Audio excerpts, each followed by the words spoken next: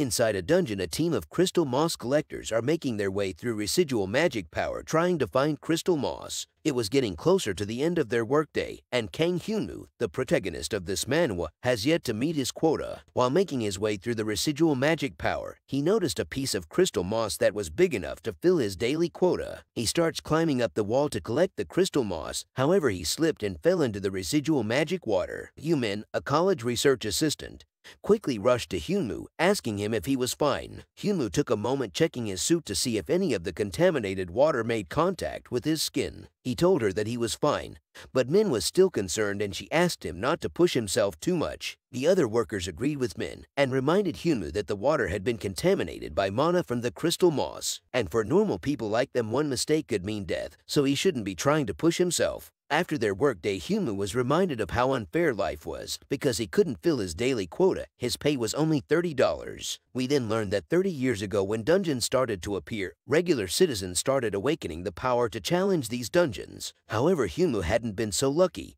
He was a zero-star powerless person with no chance of awakening an ability. While thinking of how he was going to get through the day with $30, Robert Lee, a lawyer, entered the changing room to deliver what his father left behind for him. Hyunmoo was confused.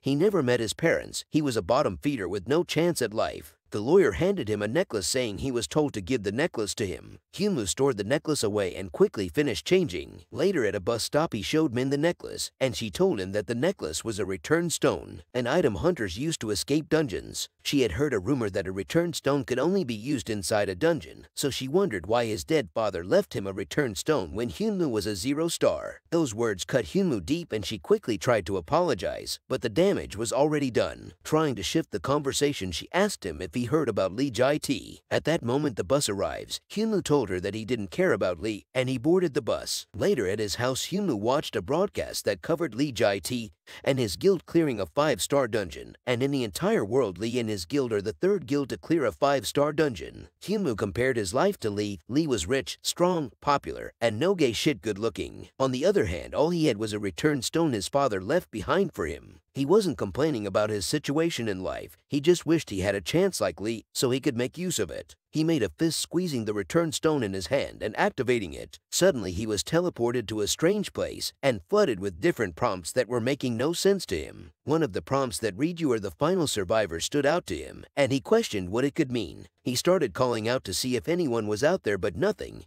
He continued calling out, and he noticed a giant vein of crystal moss. The one he failed to collect earlier would have been worth a few hundred dollars, but this vein should be worth a few thousand, maybe even tens of thousands. Suddenly, he was hit with a poison status, and he was paralyzed. He couldn't breathe and his stamina was being drained continuously. The system informed him that he was being attacked by an enemy, but when he looked around there was nothing near him. In the end he died to the most dangerous enemy, Fine Dust. He was revived and was prompted with a quest first night in hell, and the objective was to survive till the morning. He quickly grabbed his jacket and ran off. He didn't know if someone was putting him through this, but if he finds them then he will be sure to have his revenge. After running around aimlessly for five minutes, Hyunmoo died. On his eighth death, Hyunmoo came up with his first plan which was to pray and ask God for forgiveness, but after 11 minutes he died. On his 11th death his poison and paralysis resistance increased, and he came up with his second plan, breathing in all of the fine dust that was killing him. As you probably guessed, the plan didn't work and he died. On his 14th run his resistance increased again, and he realized that he survived the longest when he was just breathing. Instead of panicking, he started using a breathing technique he learned when he was a kid. He died, but this time he survived longer and even leveled up. He continued with the breathing technique, and on his 28th death his body felt light. And due to the fact that the poison in his body had reached a critical point, he learnt the rare skill Poison Blood, and would no longer suffer damage from poison. However, Hyunmoo couldn't believe it, and turned his attention to the crystal moss instead. There was crystal moss everywhere. Hyunmoo picked one up wishing they were real so he could sell it. Suddenly, the system asked him if he wanted to store the crystal moss. He wasn't sure what was going to happen, but he replied yes, and the crystal moss disappeared.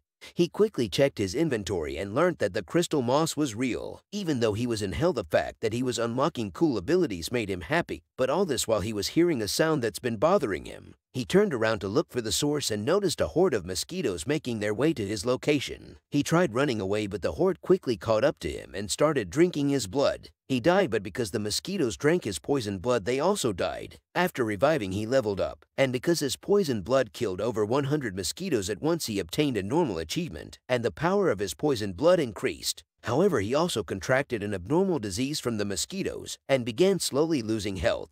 He stood up protesting against the system, but because of the disease he stumbled and crashed into a chair. He learned the dismantling skill but he didn't notice. His health dropped below 10% and he started regenerating with his last man standing title. He stood up looking at the notifications he received, finally realizing that he got the dismantling skill by breaking one of the chair leg. He picked up the chair and activated the dismantling skill, splitting the chair into different parts. He organized the different parts on the ground, and he tried to create something to see if he could get another skill. It worked and he got the normal skill creation. He didn't know how long he was going to be stuck in hell for, or what scary monsters he might come across. But he knew that if he wants to live he needs to make a shelter. He starts looking around for things he could use. He found more crystal moss and stored it. He continued looking and found a newspaper. He picked it up and tried reading the headline. But he was struggling. Suddenly, he obtained another skill, and with the language skill, he could read the newspaper, and it was an article covering Lee. The newspaper further confirmed that this hell he was in was somehow connected to the real world. But even if the two worlds were connected, there was nothing he could do about it. So first he wanted to see what he could do with the mosquito corpses. After dismantling all the mosquito corpses, he was exhausted. He obtained hell mosquito stingers, hell mosquito wings, and hell mosquito blood. Next, he used the creation skill and created a hell dart. It was a rare item, and the fact that he kept getting rare things concerned him. He created more hell darts and used his creation skill on the rest of the materials he had. The legendary class item Unknown Egg was created, and his creation abilities increased greatly. There is a 50% chance that the egg would be alive or dead, and he could keep it alive by meeting certain requirements. He held the egg close to his chest trying to give it warmth, but stopped after getting embarrassed. Suddenly he heard the sounds of something breaking the door down. He hid, and a goblin made its way through the door. The goblin noticed Humu hiding in the corner and lunged at him. Humu dodged the attack and started heading up the stairs. The goblin chased after him. He pulled out the club he made with the creation skill from his inventory and attacked the goblin. The goblin dodged and launched a series of counterattacks, breaking Humu's makeshift club in the process. The goblin smiled and started speaking in its native tongue. Humu was taken aback. He didn't know what the monster was saying, but it was definitely speaking. The goblin saw that Humu was distracted and struck him with his sword down his chest. At that moment, Humu took some hell darts out of his inventory and threw them at the goblin. One of the darts landed on the goblin's hand, and it became poisoned. Without hesitation, the goblin lifted his sword and cut his own arm off. Hyunmu became distracted again, and he concluded that the reason the dart poisoned the goblin's arm was because of his poison blood skill. When he focused on the battle, the goblin was gone. He realized that the goblin had jumped in the air and moved to his blind spot.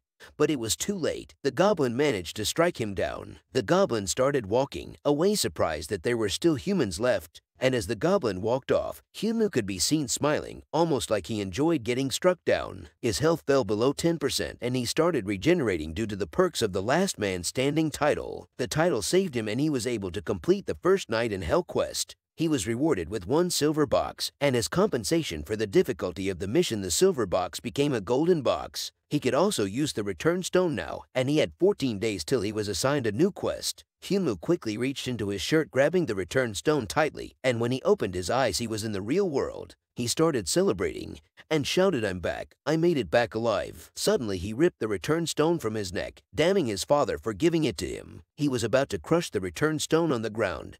However, he recalled all the abilities and materials he was able to gain in Hell and stopped realizing that the return stone is his only way to move up as a bottom feeder. Min, who was walking by, noticed him, but she wasn't sure if it was Humu and she called out to him. He turned around and after seeing that it was Humu, she quickly rushed to him and gave him her raincoat. She took him to her house and gave him a mana contamination remover, just in case Humu was contaminated. Humu told her that he was fine, but she shouted at him for taking mana contamination lightly since it could mean his death. Humu took the mana contamination remover and went into the shower. After using the mana contamination remover, Hyunwoo stepped out of the shower and asked Min what day it was, and she told him that it was the 11th of September. And as he tried to make sense of what had happened to him, Min admired his body. She snapped out of it, telling herself to get a grip. Then she told Hyunwoo that she was going out to buy him new clothes. Hyunwoo wanted to use his old clothes, but she refused since they were contaminated and torn. After she left, Hyunwoo opened his inventory to check on his reward for completing the quest. He opened the golden chest, and the quality of the reward was increased due to the effect of his title SSS rank Good Luck, and he obtained the legendary skill card Battle Helper. Hyunwoo held the skill card in disbelief. It's usually very difficult to get a skill, and even a rare skill could get you special treatment. He was sure that in the entire world only seven people had a legendary skill, meaning he had become the eighth. However, there wasn't a single explanation of what the skill does, so he started throwing punches hoping the skill would activate, then returned from the store catching Hyunwoo punching the air, embarrassing him. She handed him the clothes she bought, and after he changed into them, she brought up the fact that he was fine after being exposed to mana and she asked him if he had any powers. Hyunwoo told her that he recently awakened his powers so he didn't have full control over them. He recalled that Min was researching something, and he asked her if it was crystal moss she was researching. She told him that it was, and he pulled out crystal moss from his inventory and showed it to Min. Min grabbed his hand in disbelief. Where on earth did you get this, she asked. Hyunwoo asked her if where he got it was important, and she told him that the crystal moss was very pure and the energy level is close to 5 stars, and getting more would be valuable for her research. Hyunwoo told her that he didn't have any plans of giving her the crystal moss unless she helped him find a way to sell it. However, selling crystal moss of that size and purity would be difficult without documentation proving you are a hunter. Since the size of the crystal moss was a problem, Hyunwoo broke the moss in two. She started hitting and cursing him. Hyunwoo told her that he had more crystal moss and asked if she could sell the one he just broke. She told him that she could, and he gave her two conditions. One, she couldn't tell anyone where the crystal moss came from, and two, no one can know he was the one selling it. Min got angry at the fact that those were his only conditions when he just wasted a crystal moss of that purity. He apologized and grabbed his torn clothes getting ready to leave, but Min asked him to sleep over. The next morning, Min had a glow to her, but Hyunwoo looked drained. She told him that she was leaving to meet up with the buyer and left. One week later, Humu tagged along with Min to meet the buyer, although he was the one who asked her to sell the crystal moss. There are a lot of guys who are on the verge of losing everything, and those kinds of people are saying they will buy the rest of the crystal moss at a premium price. Something was definitely off. When they entered the cafe they agreed upon, Hyunwoo noticed a big ominous fella making him glad he tagged along. But to his surprise, Min grabbed his hand and brought him to an old man wearing a trench coat. The old man introduced himself as Park H. Wizo, and from his grip strength alone, Hyunwoo could tell he was strong. And if he attacked then the chances of him winning was low. Min pulled out a bag of crystal moss for Park to inspect. After inspecting them, he asked Min if he needed to deposit the money in the same account. She told him that the account has not changed, and Park grabbed the bag and wished them a goodbye, calling Hyunwoo by his full name. Hyunwoo was shocked, and he questioned if the old man figured out he was behind the crystal moss, then started teasing him for thinking an old man was going to attack them. She got a notification on her phone and showed it to Hyunwoo, asking him how it feels to make $1 million. Inside a car park reports that his deal was successful and that they obtained all of the crystal moss on the market. His boss asked him what he thought about the person behind the crystal moss, and Park shared that he think the person will be strong since he is selling crystal moss with purity that can only be found in five-star dungeons. He also reported that there was someone with men, but he needed to observe him a little bit longer. The idea that someone selling crystal moss of this purity got the boss wondering how strong they were. Park told him that they would at least be on the boss's level, intriguing the boss even more, and he asked Park to investigate Min, and her partner. Park accepted the mission revealing that his boss is Lee. A few days later in Hell, Hyunwoo was doing some pull-ups. After doing 150, he dropped down from the bar. His strength level cap increased.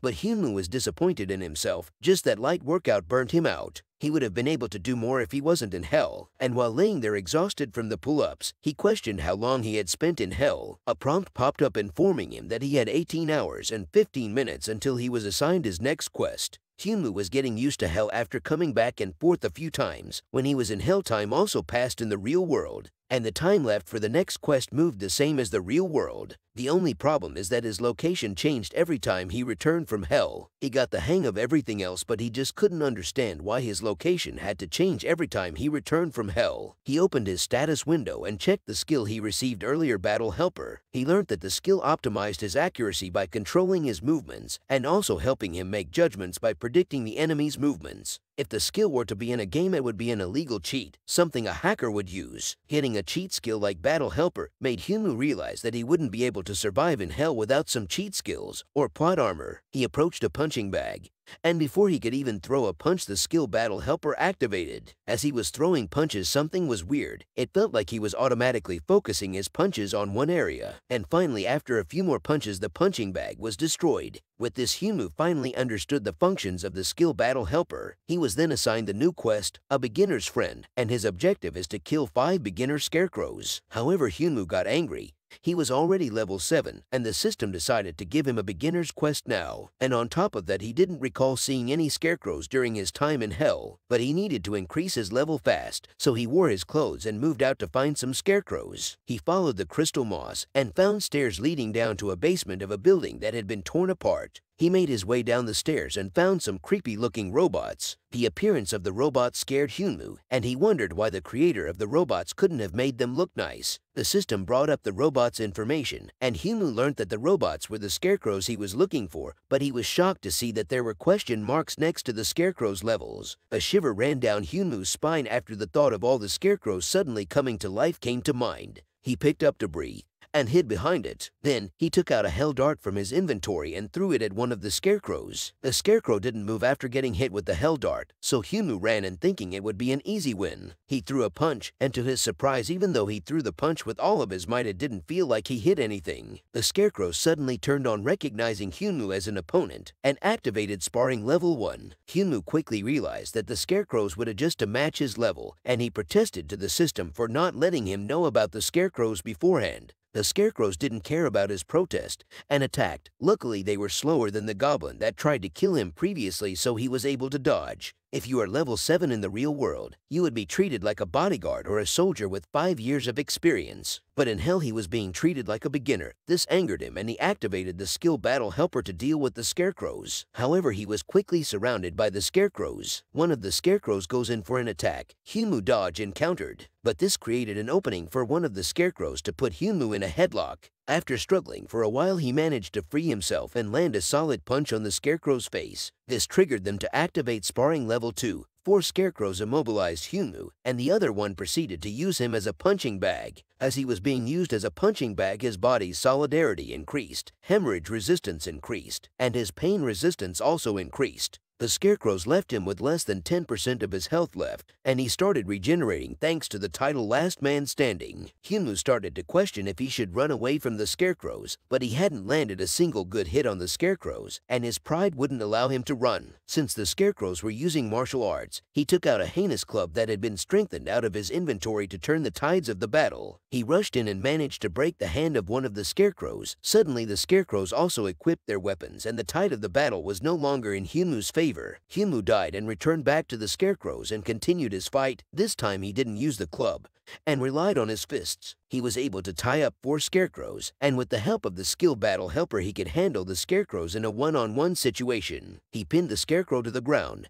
and attacked its chest continuously until its core was revealed. He was about to destroy the core but stopped after the scarecrow activated sparring level 3. He wanted the scarecrows to get stronger since the stronger they got the stronger he would become. Later he opened his eyes trying to recall how many times he died after the scarecrow activated sparring level 3. He couldn't believe it every time he died the scarecrow was using a different martial art, and he questioned how many martial arts the scarecrows knew. The scarecrow approached him, this time taking a fist fight stance. Hunmu was excited by this because he didn't think he would die in a fist fight. He attacked the scarecrow first and was pushing it back. The Scarecrow activated sparring level 4 and attacked Hyunwoo's eyes. Hyunwoo flew back complaining about his eyes, but the Scarecrow wasn't done and it proceeded to bite him. He died and at the end of his ninth death Hyunwoo realized three facts. One, the Scarecrows couldn't increase the difficulty past sparring level 4, which is why he wasn't noticing any new patterns in the Scarecrow's attacks. Second, the Scarecrows had a fixed pattern of moving, and if there were any differences then it would stop to correct its movements. Third, there's no need for him to destroy the scarecrows. If they take a certain amount of damage, they would stop moving. So there is no need for him to totally destroy the scarecrows. After realizing these three things, Hyunwoo was able to defeat all the scarecrows and clear the quest friend of a beginner. This made him feel good, and he fell to the ground due to exhaustion. All he wanted to do was fight monsters on the same level as him, but that's not the type of place hell is. He questioned why the quest was named Friend of a Beginner when the difficulty was not something a regular beginner could handle. As compared to learning something, it was more like hell was beating the fighting techniques into him. He stood up and decided to check his rewards for the quest before he returned to the real world. He opened the silver chest and the quality of his reward was increased due to the effects of the title SSS rank Good Luck, and he obtained what looked like a golden wrapping cloth. The wrapping cloth was the legendary item Celestial Cradle, and it accelerates growth and fully restores any damage in the body. Hyunwoo understood the part about the cradle restoring damage in the body, but he couldn't understand what the growth acceleration was about. He was happy that he got another legendary item, but he didn't know how to use it. He questioned if he wrapped the cradle around his head if it would make him smarter. He wrapped the cradle around his head but quickly took it off because of embarrassment, and he was glad that no one was around to see what he just did. He continued to observe the cradle, and he realized that when he died and was revived he would be in perfect condition, meaning the cloth wouldn't be useful to him. He decided to sell the cradle when he returned to the real world and opened his inventory to store it away. The egg he obtained when he was dismantling mosquitoes caught his attention, and because the cradle mentioned growth, he figured it might work on eggs. He took the egg out of his inventory and wrapped the cradle around it. After a while, nothing had happened, and he questioned if the cradle didn't work on eggs. He decided to stop waiting and just sell the cradle when he returned back to the real world. But suddenly the egg started hatching. Hyunwoo became concerned. He hadn't thought about what he would do if a monster that wanted to kill him came out of the egg. But it was too late the egg had already hatched and a fairy-looking monster came out. The monster was smaller than what he imagined, and he reached out his finger to pet it, and suddenly the fairy grabbed his finger and bit him. In shock, he threw the fairy into the ceiling and complained to the system for giving him a monster that wanted to eat him as a reward. The fairy stood up and told Hyunwoo that she was hungry. Hyunwoo took out a piece of candy from his pocket and asked the fairy if she wanted to eat the candy instead. The fairy refused and pointed at Hyunwoo. Hyunwoo allowed the fairy to drink his blood and a while later he got irritated that the fairy was still drinking his blood and he asked her to stop. She stopped and helped him stop the bleeding. Afterwards, she complained about the taste of Hyunwoo's blood only being somewhat satisfying and asked him to bring out her dessert. This irritated Hyunwoo and he grabbed her asking her to say those words again. Realizing that her life is in danger, she thanked Hyunwoo for letting her drink his blood. Hyunwoo decided to let go of her and introduced himself. He asked her for her name, and after thinking long and hard about it, she couldn't remember. The only thing she remembered is that she was supposed to appear at the end. This confused Hyunwoo and he asked her if she was some kind of superhero that appeared in the end to save the world. She replied with a smile, No, I promise to eat all living organisms when the world ends. This didn't make sense to Hyunwoo. This small fairy creature was saying it is going to devour all living organisms when the world ends. Hyunwoo suddenly remembered that his blood was poisonous. The poison was so potent that it melted a goblin's arm, but she was fine after drinking his poisonous blood. He couldn't use the skill battle helper to defeat her because she wasn't hostile to him. He didn't know what her skill level is, and it looked like he wouldn't be able to just leave her behind. His only other option was to take her as a pet. Since he decided to take her and as a pet he gave her the name Renian, which she accepted because it sounded similar to Agent of the Apocalypse in Pixie tongue. Hyunwoo then asked Renian to promise to never eat a human. Renian asked if that included him, and Hyunwoo replied that he didn't care about others but she should never try to eat him, and if Renian was a hungry to the point where she could die, he gave her permission to eat another human as long as it's not him, and in exchange for her promising he would give her some blood, Renian accepted and after drinking Hyunwoo's blood again she asked him why the scarecrows were destroyed. Hyunwoo explained that they were destroyed for his victory, but he noticed something strange. One of the scarecrows had been ripped in two. He recalled the battle with the scarecrows and came to the conclusion that he wasn't the one that ripped the scarecrow in two. Suddenly, a prompt appears informing him that the additional trait Valiant Energy had been added to Battle Helper. He picked up a scarecrow to test out the additional trait, and to his surprise, he destroyed the scarecrow with a single punch. Seeing what Hyunwoo had just done, Rinian wanted to try too, and she replicated the move on another scarecrow. The other scarecrows were activated, and they surrounded Hyunwoo but instead of recognizing him as an opponent they recognized him as a superhuman, and they directed him to the corner of the room that was packed with debris. Hyunwoo started clearing out the debris, and as he cleared Rinian could smell something delicious. Hyunwoo continued clearing the debris and came across a skeleton. Rinian took a bone from the skeleton and started eating it. Hyunwoo took the bone from her before she could finish it and placed it back where it was. There was also a letter that read it's been three years since the level rose to Nightmare. The situation only worsened. Children who were born in the potent dust died. Hunters started dying out. Hope faded away and humanity went extinct. Hyunwoo was stunned. According to the letter and the message he saw when he entered, hell is the future of the real world. And for high-ranking ability users to die out as well showed the dangerous monsters that were about to appear. Hyunwoo couldn't figure out who left the letter behind, and Rinian who was looking through the belongings of the skeleton found a return stone and showed it to Hyunwoo. The return stone looked different from the one that brought him to hell, so he asked Rinian to give it to him so he could observe it. Rinian handed him the return stone, and suddenly it started glowing brightly. Once the light had disappeared, the returned stone was gone, and Hyunwoo had a strange tattoo on his hand. A message appeared telling him that the stars were watching him, and a veil of darkness started surrounding Hyunwoo. He tried to get away, but it was too late. He was in a strange place with nothing around. He started calling out for Rinian, and suddenly a message appeared informing him that Advancing Star Borrow had recognized his absorption of the star fragment. However, the Star Borrow became disappointed after seeing Hyunwoo and forfeited the fragment and left. This irritated Hyunwoo and he gave the star the middle finger. In anger, Hyunwoo started hitting the message that had popped up and accidentally lifted a lock. The system then explained that the owners of stars are beings who have absolute control over their own territory somewhere in space. These beings place their absolute power into fragments and lend them out. They do so in hopes that their kin will use this power to become rulers and expand their territory. Hyunwoo was in possession of one of these fragments. Because of this, the stars wished for him to become their kin. Hyunwoo realized that the return stone Rinian found earlier was the fragment the system was talking about, and after the explanation, all of the stars that wanted Hyunwoo to be their kin appeared. A prompt appeared asking Hyunwoo to choose the star he wanted to follow. However, he refused, even if the system wanted him to choose he wouldn't since he knew nothing about the stars. So one by one the system introduced the stars to Hyunwoo, the Shattering Star Gull, an absolute ruler who laughs behind a plotty mastermind. He rules over the masses with daggers, poison, and conspiracies, while staying behind the scenes. The waking star Verd is the father of all grief and melancholy.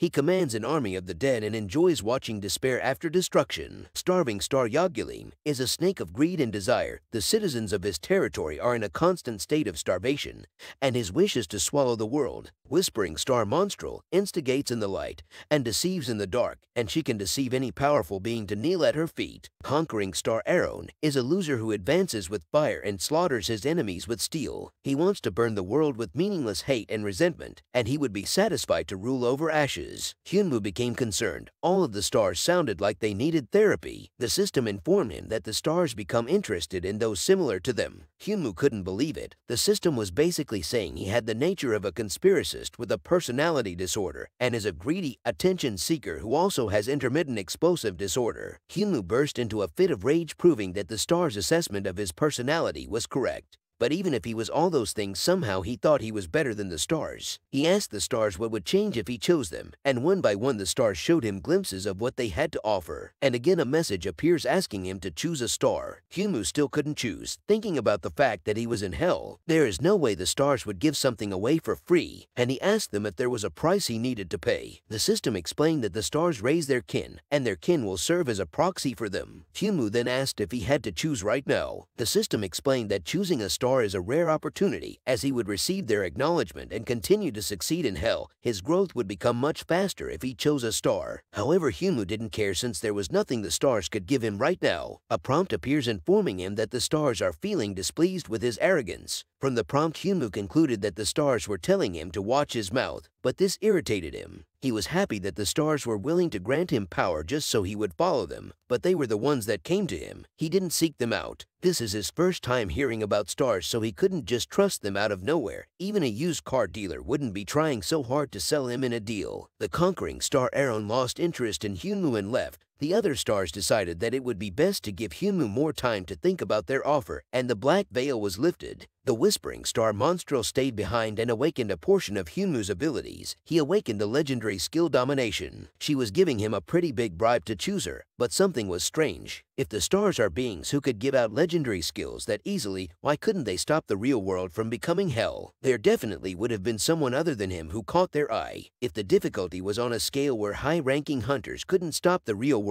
from becoming hell, then it's possible that the stars were the ones who created hell. It looked like he would have to do more research about the stars. After returning from hell, Hyunmoo was lost in a forest for three days. He thought that it would be enough if he just focused on getting stronger in hell. But he now realized that there are still a lot of things he needs to pay attention to once he gets back to the real world. For example, never knowing where he would end up after returning from hell, and whenever he returned he looked like a beggar, so he sneaked around hoping no one would find him. But most times he was unlucky. After making it to Min's house he told her that he wanted to buy a house. Min who was drinking her morning coffee was shocked. Hyunmoo looked like a beggar, and him needing a house came out of nowhere. Hyunmoo continued on saying he wanted a house that had sturdy walls and is clean like a hospital's disinfectant room. Min told him that buying a house isn't the problem. This confused Hyunmoo, so she explained that even though he had a lot of money, it all came from illegal ways. To the government, Hyunmoo was a powerless zero-star commoner that is mooching off of Min. Her words left Hyunmoo depressed, and she tried explaining that she was just saying others might misunderstand. After taking a quick shower, Hyunmoo went into the kitchen and cooked noodles. According to what Min told him, it would be hard to buy a house, and on top of that, he needed a house that would fulfill all of his requirements. If he suddenly got the money to be able to buy a house, the people around him would get suspicious. If he wanted to be able to spend a lot of money at once, then it would be better if he got registered as a hunter and climbed up the ranks. He recalled the star that had left behind and gave him the legendary skill. He wondered why the system asked him to choose only one star. All of the stars possessed incredible strength, so why can't he have them all? He definitely wanted to get everything the stars had to offer. He didn't care if the world gets destroyed or if humanity goes extinct. He would just get stronger to make sure he survived, and then he can rule the world under his feet. Hyunmoo made up his mind to rob the stars for everything that they had, and Min who was watching asked him to stop acting like he was in a TikTok edit and eat the noodles he made. Hyunmoo turned on the news and started eating. The news was covering Lee's announcement of his plans to seal the Baekdu dungeon. Many had tried to seal the Baekdu dungeon, but failed, so men questioned if Lee and his team would be able to do it, and it would be the first attempt to clear the dungeon again after North Korea was ruined by a flood phenomenon. Hyunmoo asked Min what the flood phenomenon was, and she explained that it's a phenomenon where monsters come flooding out of gates. The Baekdu dungeon was a 5-star dungeon, so the monsters that are coming out are also 5 stars. If your weapon isn't infused with mana, it would be impossible to take on a 5-star monster. It was a gamble trying to raid a dungeon like Baekdu. Lee was probably trying to seal the Baekdu dungeon because he was the first person in Korea to successfully raid it. Before he raided it, all the guilds said that it would be impossible to launch an attack in the north.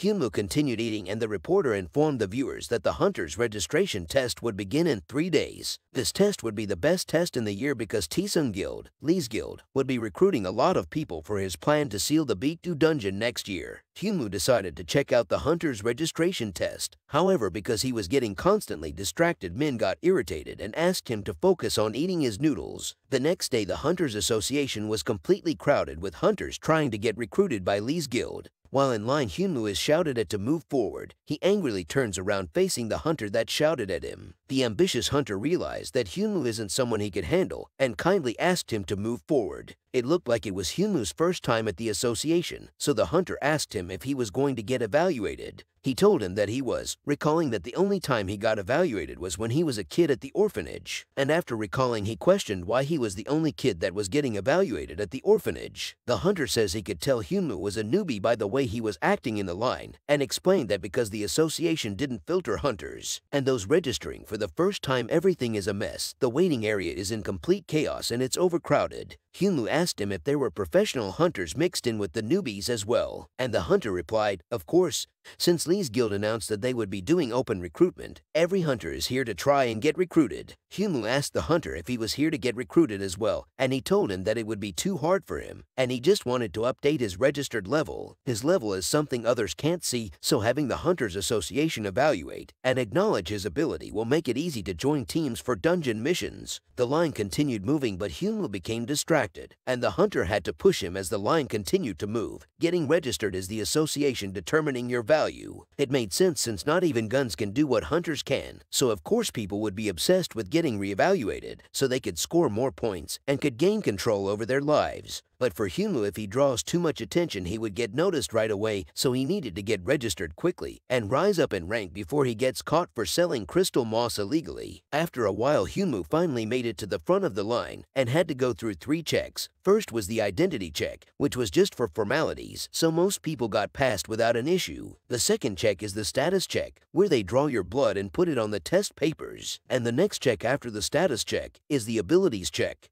To put it simply, it was combatability evaluation. The average score would be close to 100, but just having a higher stat doesn't necessarily mean that a hunter is strong, so they don't really care about the numbers. Hyunmu reached his hand into the machine, causing the numbers to go crazy. The ones conducting the evaluation were confused, questioning if Hyunmu's strength had broken the machine. But the machine was fine, even when Lee took his test, so how strong would Hyunmu's abilities have to be for that to happen? Hyunmu asked them if he broke the machine, and they told him that he had nothing to worry about since it was a malfunction. And while they recalibrated the machine, Hyunmu wondered if he would have to control his strength. After the machine was recalibrated, Hyunmu decided to do the test with moderate strength. But again, the machine broke. The doctors were puzzled and questioned if they should report it. However, they decided to recalibrate the machine again. A while later, after the evaluation was done, Hyunmu received his score, which was pending review. The workers of the association entered the waiting area, explaining that they would be split into three groups. Those with an attack skill would go furthest to the right, those with a defensive skill would go in the middle, and finally, those with a buff or abnormal skill would go furthest to the left.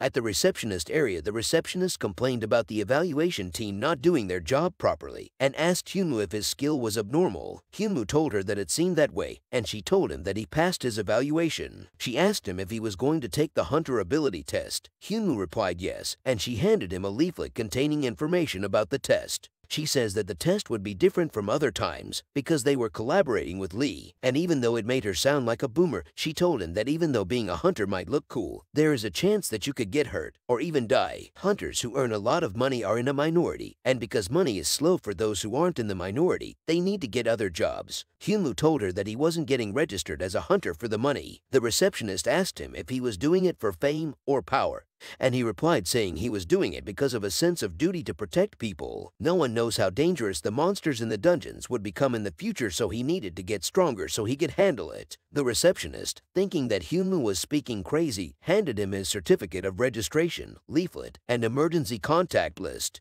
Then she told him that the theme of the test would be dungeon, and if he reads through the leaflet, it would provide additional information. A while later, a car pulled up at the association, and Lee came out instantly drawing a crowd. He asked one of his guild members if the preparations were going smoothly, and the guild member reported that there were no issues. Continuing on, he reported that the Red Butterfly group had already arrived, and it seemed many other guilds were trying to recruit them, but the Butterfly group already had their minds set on joining Lee's guild. Lee told his guild member that the Butterfly Group wasn't really trying to join his guild. Their goal was the Northern Expedition. The members of the Butterfly Group were talented individuals, and they've ignored every guild's attempt to recruit them. But as soon as they heard news about the Northern Expedition, they all applied for the test. If it was Red Butterfly, the leader, she could have just applied to Lee's guild and she would have been accepted. Lee asked his members about the other newcomers taking the test. He reported that the other candidates couldn't compare to the Butterfly Group. But there was one person with an abnormal ability he handed Lee the documents containing the information on the candidates and explained that Hyunmu is a hunter that has the poison blood skill, and from the documents it could be seen that the toxicity level was way higher than usual. Lee was impressed, but the poison blood skill had a lot of drawbacks. For example, if one mistake is made, then his teammates would suffer. So he would just keep Hyunmu in mind for now. Inside the candidate waiting room, a man dressed in a suit approached Hyunmu and handed him a tile. Confused by what the tile was for, Hyunmu called out to him, but the strange man just walked walked away quickly. He couldn't follow the man because the test was about to begin. Over a speaker, it was announced that the candidates could enter the testing grounds. The candidates entered the Yongsan Hunter Association 3rd Gymnasium Dungeon, which was modeled after the appearance of a two-star dungeon in Ukraine.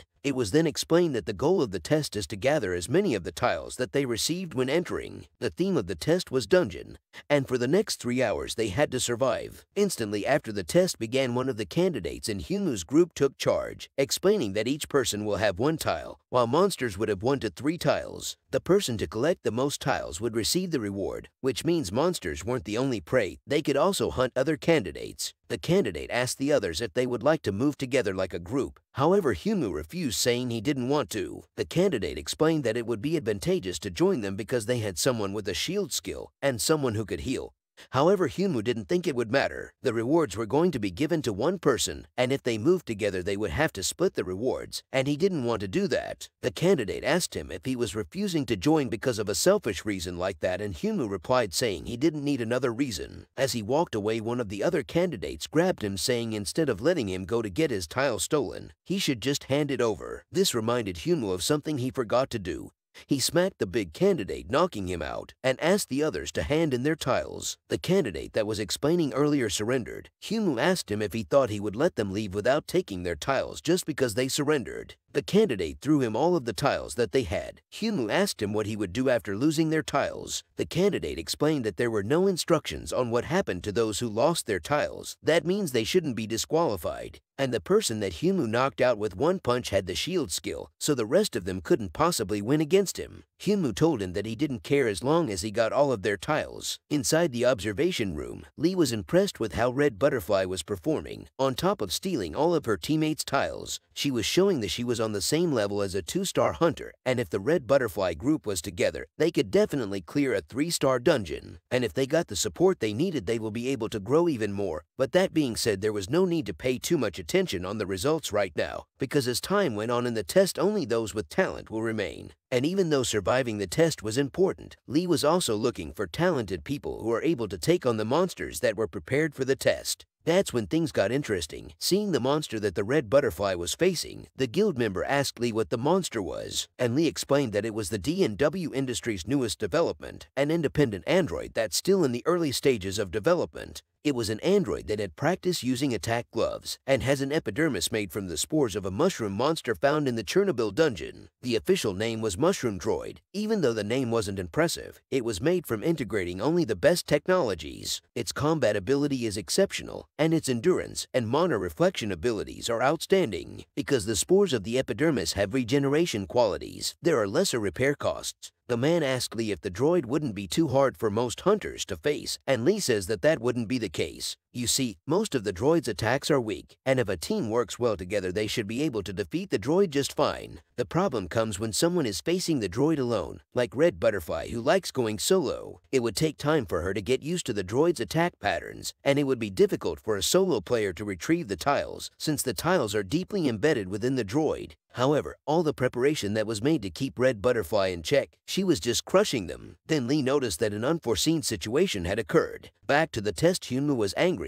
he was really looking forward to facing real monsters, but the droids didn't move well, didn't speak, and their attack patterns were too simple, and even their stats were low. This left him bored out of his mind. After defeating all of the droids that attacked him, he picked one of them up and used the dismantling skill to retrieve the tile. However, the fact that the tile came out so easily concerned him, and he questioned if it was supposed to come out that smoothly. It was then announced that 34 minutes had passed, and more than 30% of the tiles had changed hands, and a ranking will be revealed. In third place was Hongryun with 7 tiles, second place was Red Butterfly with 9 tiles, and first place was Hyunwoo with 16 tiles. Hyunwoo knew that this would happen, although it would have been better if he faced goblins instead. The droids that he called scarecrows were just too easy. He decided to check the other items he got from dismantling the droid. He received the common item Spore Eroder's flesh. He didn't think that items would drop from the monsters, but complained about the items not being better. If the scarecrows from hell were made from the Spore Eroder's flesh, maybe that's why they are so durable. He put the flesh around his arm and realized that he could create something with it. He used his creation skill and crafted the Spore Rotor's knee guard and the Spore Rotor's arm guard. With his preparations done, it was time to take care of the rest of the test. A while later, Red Butterfly was looking at the leaderboard in disbelief. No matter how hard she tried, she couldn't surpass Hyunmoo. She was then attacked by the other candidates, but she quickly dealt with them. More arrived surrounding her. As she was getting ready to face them, Hongryun came rushing through the candidates. After making it to the center, she asked Red Butterfly to stop going ahead of them since she could get hurt. Red Butterfly told her that she was rushing because she didn't have enough points to get first place. Hongryun told her that points aren't what's important. The original plan was to meet up with the Northern Expedition, and they already had enough tiles. The candidate that was in Hyunwoo's group named Red Snake explained that if they combined their tiles, they would have 88 tiles. Red Butterfly told them that she didn't want to combine their tiles and asked them to stay close. Afterward, she left. Inside the observation room, Lee asked who Hyunwoo was, and the man explained that it was Hyunwoo's first time being evaluated. It seemed like his evaluation had been put on hold, and Lee asked if he was the one with the poison blood skill. The man answered saying he is, and Lee asked if it didn't seem like Hyunwoo had experience in dungeons even though he was just registered today. Every action he made showed that he was used to being in a dungeon, but that would mean he is one of those people that entered a dungeon without permission. Lee's guild member asked him if he was suggesting that Hyunwoo was a rogue, but that wouldn't make sense because Hyunwoo didn't have a criminal record. Lee explained that Hyunwoo might be from an outside country since the regulations in other nations aren't too harsh. Of course, he was only saying that it could be a possibility. Lee thought it would be great if Hyunwoo and Red Butterfly hurried and fought each other. He was excited to see how it would go down. Back to the test, Hyunwoo decided to try the Spore Rotor's flesh, but spat it out because it was so disgusting. The taste was so bad that he wouldn't even try to eat it even if he was starving to death. He sensed that something was approaching him at high speeds. When he turned around, he noticed that Red Butterfly was about to attack him. He dodged the attack, and Red Butterfly asked him if he was working alone. Hyunwoo teased her saying he had 150 lackeys waiting for his order. She concluded that he was working alone and told him that she was looking forward to fighting him. She rushed in for an attack. Hyunwoo blocked and from the force of the attack he concluded that he would die if she landed a hit on him. And if he didn't have the skill battle helper to help him dodge the close ones, he would be in trouble since the skill battle helper could adapt mid-battle he didn't have much trouble dodging. But he still couldn't find an opening in her attack pattern. If things continued like this he would lose to her. Although he had a skill he was saving because it could be dangerous to humans, but it should be fine if he tried it with on Red Butterfly. Above all else the skill was his last option. He applied valiant energy to Battle Helper, and the two rushed at each other. As their fist made contact with each other, the valiant energy that Hyunwoo applied to Battle Helper caused the bones in Red Butterfly's arm to break. She admitted defeat and took out her bag of tiles for Humu. As Humu was approaching the tiles to pick it up, Hongryun appeared out of nowhere and hit him like a NFL linebacker. Humu was sent flying into a wall, and after recovering, he noticed Red Snake, the guy that he took the tile from in the beginning of the test. Red Snake never thought he would meet Hyunwoo again and gave him his name. He explained that Hongryun and Red Butterfly were in the same group as him. Hongryun angrily turned towards Hyunwoo and asked if he did this to Red Butterfly. At this point, Hyunwoo was starting to get angry, and he said, yes, I did that. So what? He was about to continue on his rant, but it was quickly announced that the three hours had passed, and the ranking would be announced shortly. In third place, Yoonteak with 21 tiles. In second place, Hyunwoo with 69 tiles. Nice. Finally, in first place, Red Butterfly with 88 tiles. Hyunwoo questioned why he didn't get first place, and Hongryun explained that they gave Red Butterfly their tiles, and because Hyunwoo couldn't collect Red Butterfly's tiles in time, she got first place. Red Butterfly tried to explain to Hyunwoo that it was a misunderstanding, and he should have been the one in first place. However, Hyunwoo decided to forget about it since he couldn't go back in time. As he walked away, Hongryun called out to him asking him to apologize for breaking Red Butterfly's arm. Hyunwoo wanted to turn around and teach Hongryun a lesson, but he couldn't afford getting too much attention, so he thought about his options. It made sense that Hongryun is upset about him breaking Red Butterfly's arm. He understood where she was coming from. But why is she making it seem like he was trying to rob her? He fought fair and square and won.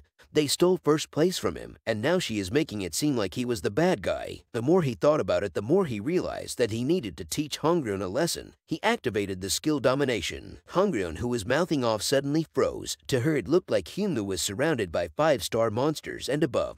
Everything around her, even her allies, looked like monsters. Hyunwoo regretted what he did. He wanted to teach her a lesson, but it was looking worse than what he had in his head. He didn't know what to do, so he ran away. Inside the observation room, Lee and his guild member were stunned. The guild member asked Lee if Hyunmoo won because Red Butterfly had let her guard down. Lee knew that Hyunmoo's last move was too precise to be a fluke, but it still didn't make sense. It would make sense if they were the same level, but for a hunter who isn't even level 10 yet to beat someone twice his level is unheard of. The guild member asked Lee if he would like to meet up with Red Butterfly first, but Lee told him that he would meet with Hyunmoo first. Inside the waiting room, Hyunmoo was cooling off. He was fine when using the skill Battle Helper with Valiant Energy, but Domination used up too much of his mana. He wondered if he would have this raging headache until he returned to Hell, and wished he didn't use Domination on Hongryun. The guild member that was with Lee in the observation room approached Hyunmoo congratulating him for successfully passing the test. He introduced himself as Team Ensu, the secretary team leader of Tisun Guild. He handed him the guild card and explained that because he possessed great skill the Tisun Guild would like to recruit him and provide him with all the necessities to improve his level. The Tisun Guild would make sure he reached his highest potential as a hunter beyond what any other guild could provide. Hyunmoo grabbed the guild card and asked Minsu if the Tisun Guild could help him reach the stars. Inside Lee's car, Lee watched the video of Hyunmoo and Red Butterfly's fight. He couldn't get enough of it, and it was like he was watching a movie. Minsu knocked on the car door window, and after Lee rolled down the window, he lowered his head and apologized. Lee could tell that Hyunmoo rejected the Tisun Guild's offer, Minsu says. Hyunmoo wasn't interested even after he raised the conditions. Lee expected this. He had a feeling this would happen because strong hunters like Hyunmoo have a sense of pride, and he asked Minsu the reason Hyunmoo gave for rejecting the offer. Minsu says that Hyunmoo talked about reaching the stars. This shocked Lee, and he asked Minsu if what he said was correct. Minsu explained that he thought it was strange to, or maybe a new term young hunters were using, but he isn't sure what Hyunmoo meant, and asked Lee if he knew what Hyunmoo meant. Lee says it was his first time hearing the term stars as well, and asked Minsu if Red Butterfly accepted their offer. Minsu reported that Red Butterfly accepted just as they planned. Lee praised Minsu on his good work and told the driver to take him home. As he drove off, he thought about what Minsu had reported. Since he couldn't tell Hyunmoo's intentions when he brought up the stars, he couldn't determine what he wanted. But one thing is for certain he had to keep an eye on him. Inside Min's car, Hyunmoo was looking over some cards. Min asked him what they were and he explained that it was the guild cards of all the guilds that tried to recruit him after the test was done. She then asked him what was in the box that was on his lap. Hyunmoo opened the box recalling what had happened after he left the waiting area. Red Butterfly approached him and apologized for what Hongryun did during the test. He didn't know what she was talking about at first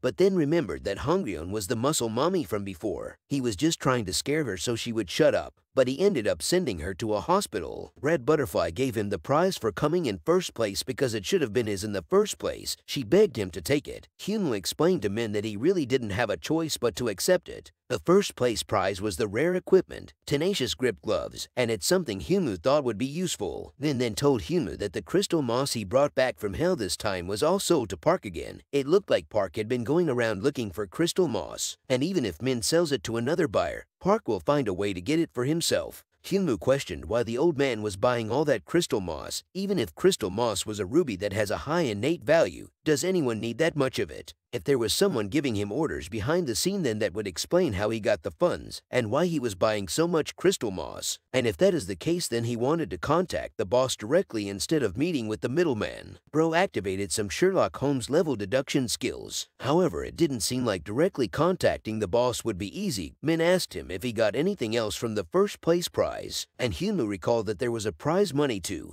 He turned the box upside down looking for the money and a check fell out. He then asked Min if she wanted to go to a restaurant before they headed home, showing her the check for 50 million. Later after having dinner the two arrived home.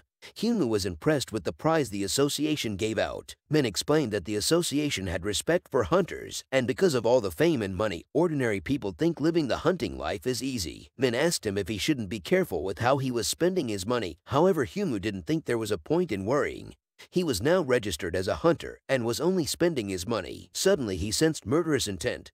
He told Min to get back into the car and lock it. As he walked away following the murderous intent, he told Min not to get out until he returned. After arriving at the location where the murderous intent was coming from, he noticed dead bodies and Park. He asked him what he was doing behind Min's house. Park explained that the dead bodies that were on the ground were members of the Japanese Yakuza. They were after the crystal moss that Hyunmoo was selling. It's very valuable even in the overseas market. The Japanese Yakuza aren't the only ones interested in the crystal moss Hyunmoo had. Even the top-ranking hunters were looking for him. Park explained that if he hadn't protected the house Min would have gotten hurt. Hyunmoo asked him what he wanted in return for protecting Min, and Park told him to create an alliance with the Tisun Guild. Realizing that Lee was behind this, Hyunmoo told Park that he rejected the Tisun Guild's offer earlier. Park ignored him and continued on.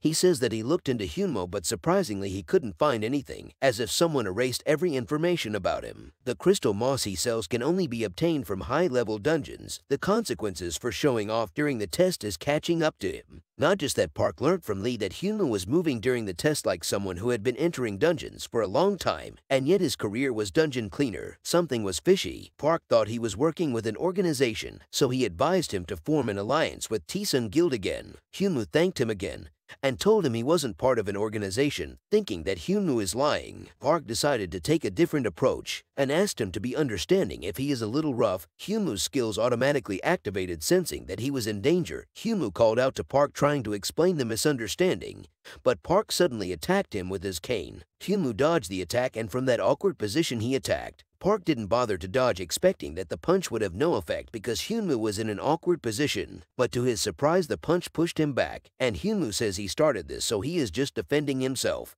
Park took off his trench coat. If Hyunmoo didn't want to take his advice then he would have to play rougher. He threw the trench coat at Hyunmoo and pulled out a sword. Hyunmoo complained saying a sword was cheating, and as Park was about to slice him, Battle Helper activates, helping him dodge the attacks. Park continued to attack, pushing Hyunmoo to the wall. He couldn't back up anymore, so he used the walls as a spring and jumped over Park. After landing on the ground, he gets happy that he got behind Park. But suddenly Park attacks. He dodged the attack and used the domination skill, stunning Park for a moment. Using this opening, he grabbed Park's collar, getting ready to put the old man to sleep. But suddenly Park's body became heavy, and he asked Hyunmoo if the domination skill was illusionary, which would be odd. He cuts Hyunmoo's wrist saying he didn't cut his neck on purpose because he didn't plan on killing him. And he asked Hyunmoo who he was working for. Hyunmoo started laughing concerning Park, so he asked him what he found so funny. Hyunmoo asked him if Lee didn't give him the full information about the test. Park looked at his sword realizing that the steel was melting away. He hadn't taken into account Hyunmoo's poisoned blood.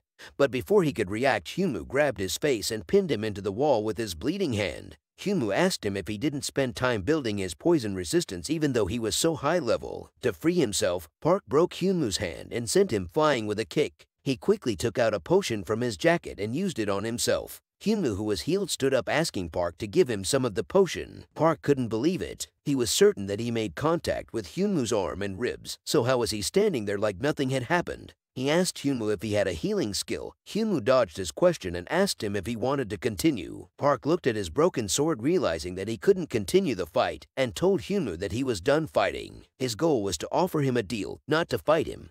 Hyunmoo reminded him that he was the one that attacked first. Park explained that he was trying to convince him with force, but Hyunmoo gave him more resistance than he planned for. Again, he started to wonder which organization would be able to train Hyunmoo to this level. This irritates Hyunmoo and he says, Listen, old man, I don't work for an organization. I work alone if we're not counting Min. Park asked, Where are you getting your crystal moss from? Hyunmoo told him that it was his business secret, and Park explained that if he joined the Tisun Guild, he could have everything he imagined and more. Hyunmoo told him that he promised himself that he would never work for someone, although that could change if Park decided to work under him. Park laughed, asking Hyunmoo to stop talking nonsense, and if he had nothing else to say then he would take his leave. Park was someone Hyunmoo wanted to work with for his connections, and after finding out that he is also a capable hunter, he couldn't lose this chance. And as Park was walking away he asked him why he thought the Tisun Guild was so great. He heard they were smaller than the Rank 3 Guild Almighty Lotus, and their average member is weaker than a Rank 2. He asked him if the Tisun Guild was just popular because of Lee, why not drop them and invest in someone who is young and talented like me? Park replied saying I believe there are two types of people that go around saying what he just said.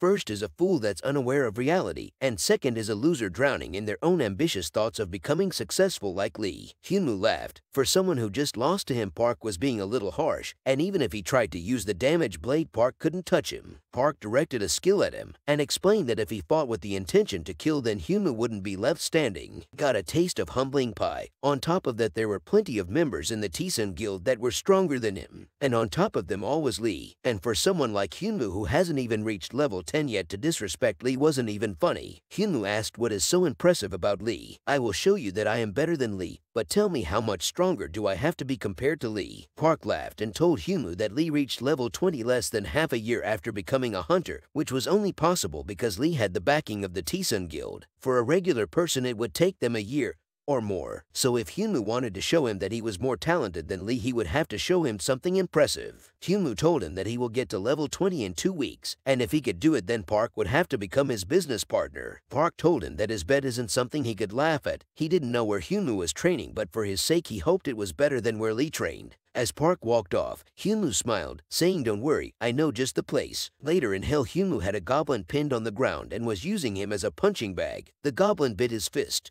but soon realized that his blood was poisonous. The goblin stopped biting Hyunwoo's fist, but Hyunwoo shoved his fist down the goblin's throat, edging him on to eat the food he put in his mouth. After a little struggle, the goblin died and Hyunwoo leveled up, reaching level 15. The conquering star Arden started observing Hyunwoo. Hyunwoo lifted his hand at the sky to give the star the middle finger, but he quickly realized that his hand was deformed due to what he did to the goblin. He wrapped a bandage around his hand, realizing that he shouldn't be pushing his body this hard. Suddenly, Renian appeared out of nowhere, screaming at Hyunwoo that fairies are scared of fighting, and he dared to continue fighting. Seeing that Hyunwoo was injured, she poked her staff into the bandages and asked him if she should try to apply some pressure, and started drinking his blood.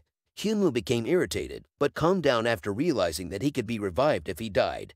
But he wasn't sure if he could survive if she drank his blood in the real world. At least things were getting better. Compared to wandering around trying to find monsters, this was a big improvement. The only problem is the goblin from his first day in hell. Out of all the goblins he killed, he still wasn't able to find that goblin. That goblin was stronger than all the other goblins he's seen. Speak of the devil and he shall appear. Hyunwoo instantly backed off questioning where the goblin appeared from and he called out to Renian to get away from the goblin and find a place to hide. But she had already disappeared. Seeing its dead comrades, the goblin let out a battle cry. Hyunwoo asked the monster what it was doing. He never thought that monsters would get sad after their own kind is killed. He shouted at the monster to stop wasting his time and attack him. The goblin was sent into a rage and it rushed at Hyunwoo. He died, and after reviving he received a new quest, enemies on a wooden bridge, and his object is to kill the goblin that killed him. Hyunwoo laid there exhausted.